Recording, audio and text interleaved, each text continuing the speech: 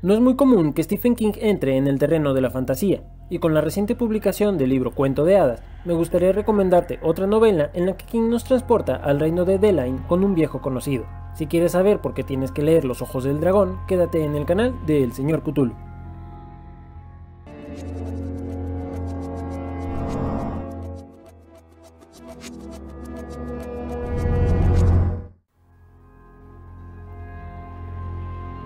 Publicada en 1984, Los Ojos del Dragón llega 10 años después de su primera novela, Carrie, así que con más de 10 libros publicados, King ya era conocido por sus clásicos como El Resplandor, Christine o la misma Carrie, pero también era conocido por sus lectores constantes, un villano en particular, Randall Flagg.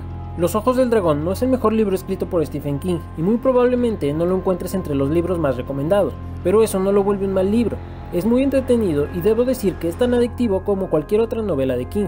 Y si quieres aprender más sobre la mitología creada por el autor, este libro es una parada que debes hacer precisamente por Flagg. Aquí nos encontramos ante una historia simple ubicada en Deline, un reino medieval con reyes, magos y dragones. El detalle interesante es que el mago y consejero es Randall Flagg, cuya primera aparición fue en Apocalipsis, o The Stand, como ustedes lo prefieran. Flagg es de los villanos más importantes a lo largo de la bibliografía de King. Se trata de un poderoso hechicero que busca crear caos ahí donde se aparece, al que hemos visto usar toda clase de poderes, desde la teletransportación, aunque al parecer este poder no lo controla del todo, puede cambiar de rostro y transformar objetos, pero en lo personal considero que su poder más peligroso es el de influenciar en las personas como lo vimos en The Stand. Pero volviendo a la recomendación de hoy, nos encontramos con Flagg como consejero del rey Roland, pero no está en la posición de poder que le gustaría, ya que el rey confía más en la reina que en su consejero, así que elimina a la reina Sasha de la ecuación. Ahora, en el presente de la historia, Flagg se enfrenta al hecho de que Peter, el príncipe y heredero al trono, es aún más peligroso para él de lo que su madre Sasha lo fue alguna vez. De nuevo, crea un plan para deshacerse de todos sus obstáculos.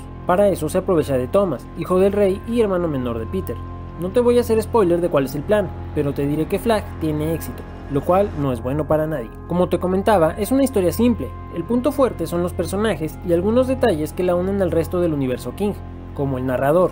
A simple vista parece un viejo sabio que lo sabe todo y nos cuenta los hechos añadiendo alguna que otra opinión personal, pero tiene algunos comentarios que nos indican que conoce nuestro mundo volviéndolo más misterioso aún.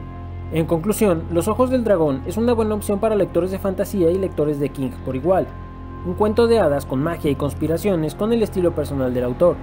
Si estás en el camino largo hacia la Torre Oscura, con todo y las novelas que guardan relación con la saga, te recomiendo leerlo antes de la Torre Oscura 2, La Invocación. No es algo de vital importancia, pero siempre se disfruta encontrar las referencias a otras novelas. Con esto llegamos al final del video de hoy. Si te gustó el video dale like, no olvides suscribirte al canal para más contenido y si te gustaría ver más recomendaciones de libros de Stephen King, déjame tu comentario aquí abajo. Hasta la próxima.